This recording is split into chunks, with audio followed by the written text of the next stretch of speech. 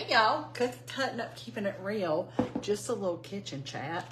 I am fixing me. It's cold out today, and so I just got home from running errands, going to the grocery store, being fitted for some loupes to help see better when I'm doing dental hygiene. Yeah, those 53 year old eyes need a little help.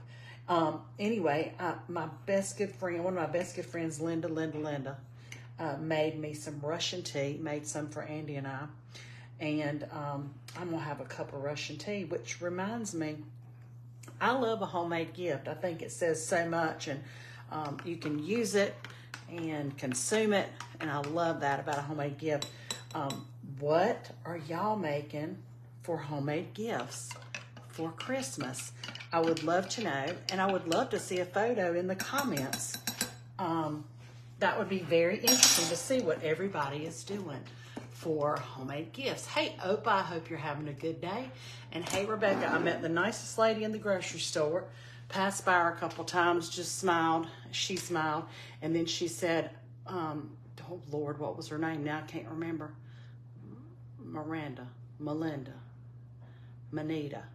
Anyway, they're still nice people out in the world. We, we kept running into one another, and then finally she said her name and shook my hand. And then we hugged at the cash register. She brought me a calendar in. She was a real estate lady. Anyway, you know, a human hug, it, it, it says something, the physical touch. And I think after COVID, we have, you know, become this society of not touching other people and not hugging other people. And it just felt good to hug somebody. Not that I don't hug my, you know, family and stuff like that, but a stranger at the grocery store. Tis the season. Yeah. Anyway, would love to know what y'all are making. So under this, please put a picture of what you're making or a comment of what you're making. It helps other people jog their mind about, oh, I could do that. Oh, that's a great idea. Yeah, I would love to know. Anyway, I hope y'all are having a great afternoon.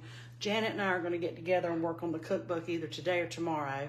That's getting ready to be completed, and then it'll go to Julie Patuli, and she'll put it together for us and get it printed. So the third cookbook is almost ready. We've been working really hard on it. So you people that have been waiting on that, just hang on to your hats because it is coming.